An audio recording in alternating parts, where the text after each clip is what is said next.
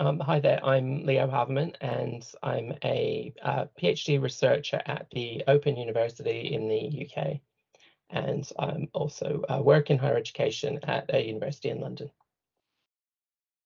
So the uh, kind of quick overview of the what my PhD is about is I'm trying to understand what higher education institutions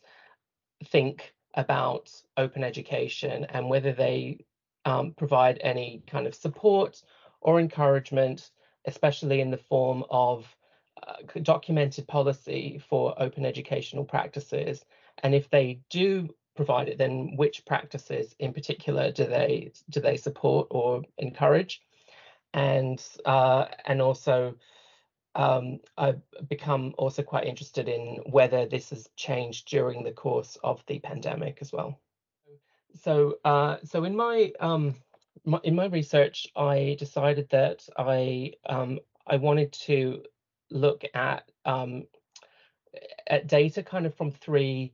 um, kind of three main sources. So on the one hand, there was uh, the the kind of data that you can find from um, higher education institutions from uh, documents that they might have have published or uh, you know web pages that they've that they've got on their website explaining um, what's going on there and what, um, what what practices they've got going on, maybe um, detailing um,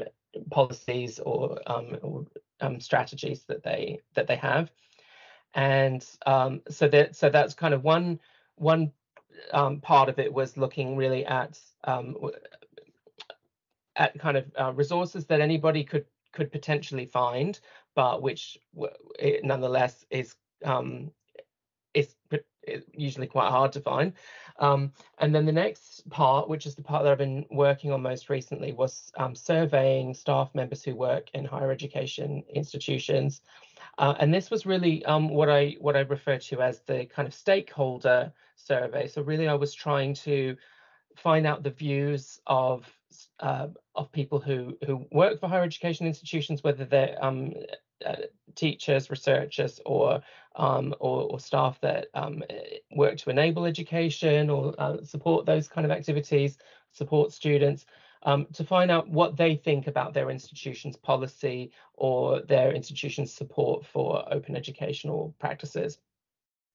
And um, and so there I was looking for really um, it, it, was more of a case of people's opinion rather than um, rather than trying to find a kind of an expert voice that would necessarily um, speak on behalf of the institution. It was more to find out what people, from the perspective of working within the institution, um, feel is is happening in their organization.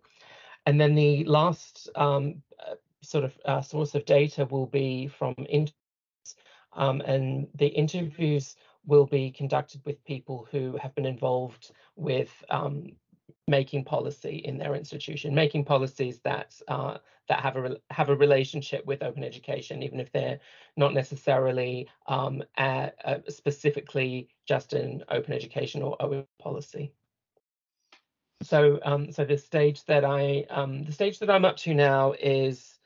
uh, is that I've um, I've collected some data from the surveys, and now I'm going to be analysing that, and uh, meanwhile thinking about um, who I'm going to approach to be interviewed.